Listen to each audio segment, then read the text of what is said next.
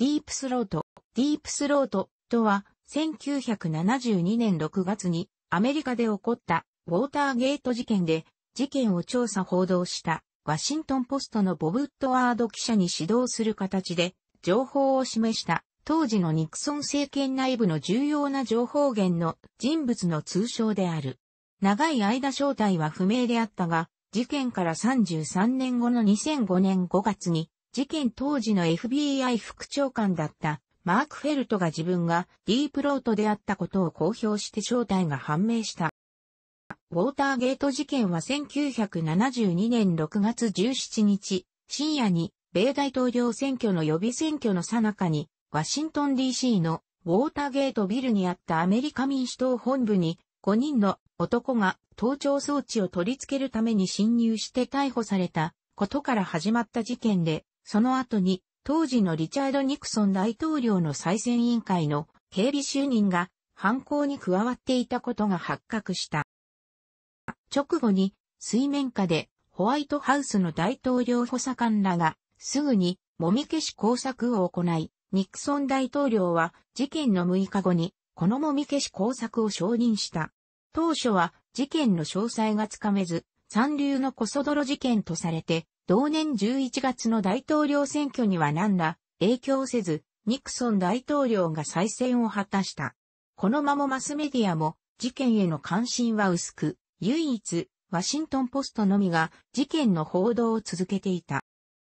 しかし翌年の1973年3月に、侵入犯のマッコードが証言で、ニクソン再選委員会及び、ニクソン政権側近が関与していると暴露し、その後に、数々の不正の発覚や、もみ消しを否定したニクソン大統領への疑惑が拡大して、やがて大統領執務室での会話を録音したテープの存在が明らかになった。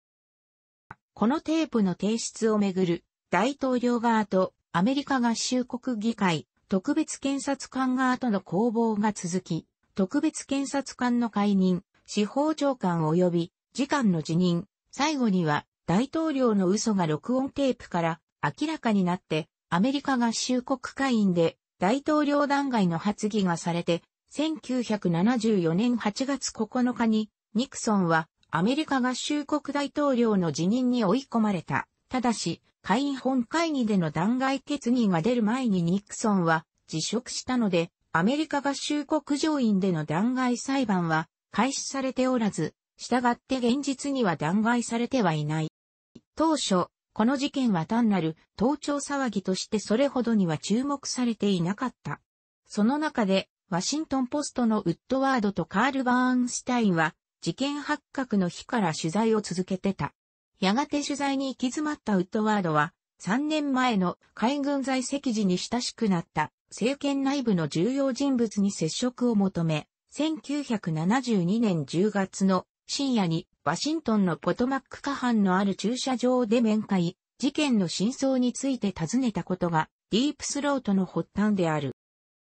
ウッドワードはこの重要な取材源を隠すことに最大限の注意を払い、彼も自らの話を記事にしないことをウッドワードに約束させて、ウッドワードとの話に応じた。ただし、後に、ウッドワードが述べているように、一般的に政権内部のことについての情報を提供したことはなく、政権内部の重要人物は、ウッドワードの問いかけに具体的に答えることはせず、どこに行けば、それに関した重要な情報が得られるか、そのことを伝えていた。ウッドワードはやがてこの政権内部の重要人物からの情報を柱に違う角度からの記事を書いていった。ウッドワードとバーンスタインは事件の情報源となったホワイトハウスの内部深くを知る匿名の密告者をディープバックグラウンドというかなで呼んでいたが、事件が起こった1972年1月に公開され大ヒットしたポルノ映画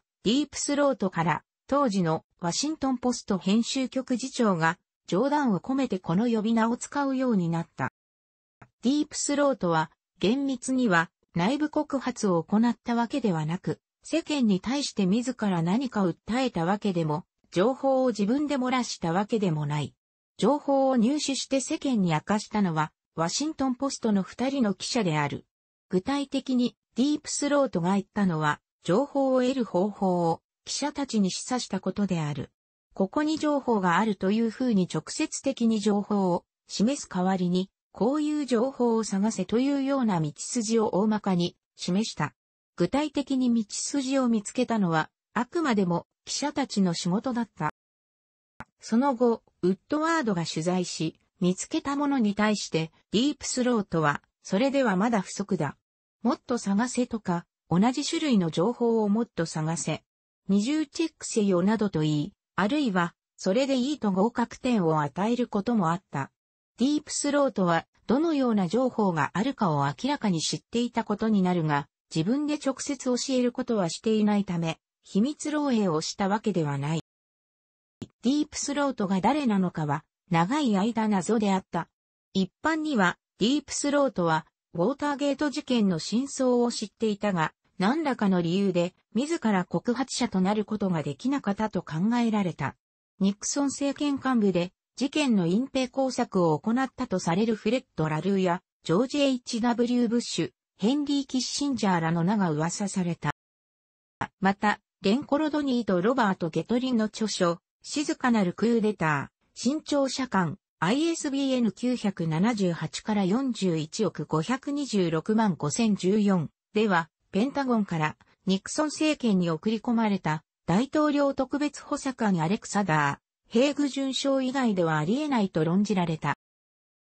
そして2005年5月31日、事件当時の FBI 副長官だったマーク・フェルトが自分がディープスロートであったことを雑誌バニティフェアの記事をきっかけとして公表した。ワシントンポストでウォーターゲート事件を取材したウッドワードもフェルトがディープスロートであったことを認め、ウッドワードはその年の秋に内幕を明かしたディープスロート大統領を葬った男、伏見イワン役、文芸春秋、2005年10月は ISBN978 から41億6367万5800を刊行した。フェルトは2008年12月18日、カリフォルニア州サンタローザ市内の自宅で95歳で死去した。ただし、1972年10月にウッドワードとフェルトが初めて密会してから数日を置かずにワシントンポストに情報を入れたのは、マーク・フェルトだったとハリー・ロビンス・ハルデマン補佐がニクソンに報告している。この報告の時期と内容は、後に大統領執務室の録音テープから明らかになったことである。後にウッドワードは、その著作の中で、ハルデマンからニクソンへの報告の情報源は、ワシントンポスト内の誰かであったと書いている。ディープスロートの正体がマーク・フェルトであったことが2005年に明らかになると、政権幹部としてその行為への様々な評価が交錯した。